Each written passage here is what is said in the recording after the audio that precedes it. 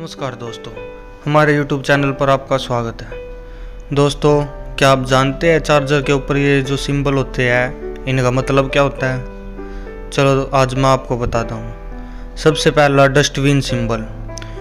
Dustbin के इस निशान का मतलब होता है कि आप इस चार्जर को कूड़ेदान में ना फेंकें। इस चार्जर को आप रिसाइकल के लिए सर्विस स्टेशन पर भेज दें। इसके बाद आता है दोस्तों, डबल स्क्वेयर सिंबल। इसका मतलब यह है कि आप ये चार्जर में लगा हुआ वायर इंसुलेटेड है। इसका मतलब होता है कि इस वायर से आपको करंट नहीं लग सकता। यह इस तरह का सेफ्टी सिंबल है। इसके बाद आता है वी सिंबल।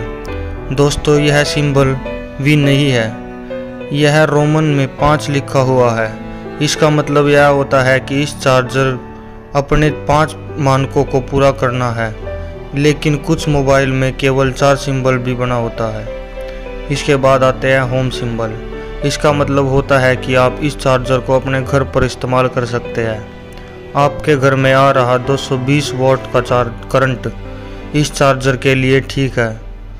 इससे अधिक के वोल्टेज पर लगाने पर चार्जर ख़राब हो जाता है। दोस्तों, यह इन्फॉर्मेशन आपको कैसी लगी? चैट सेक्शन में कमेंट करके बताएँ।